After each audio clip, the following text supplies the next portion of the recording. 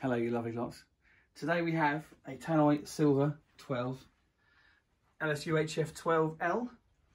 It's a 50s one. It's been in a cabinet, homemade cabinet for, well, since the 50s, I guess.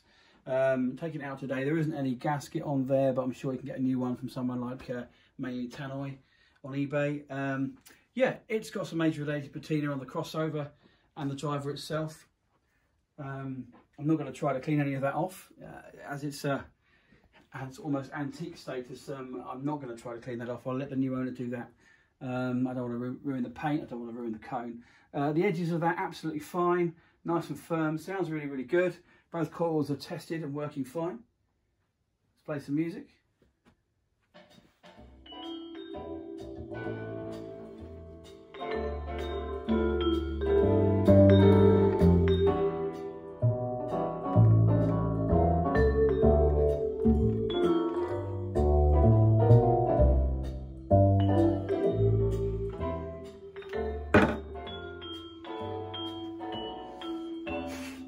The music's making me laugh, sorry.